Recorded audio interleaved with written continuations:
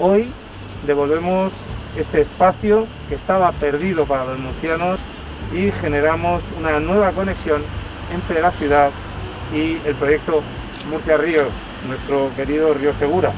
Eliminamos barreras, hacemos la zona mucho más accesible, aumentamos la calidad del aire, reducimos la huella de carbono, aumentamos la biodiversidad y mejoramos el medio ambiente con esta, actuación. Incorporamos un sistema de riego inteligente, de bajo consumo, que mejora la eficiencia hídrica, con el que conseguimos ahorrar importantísimas cantidades de agua.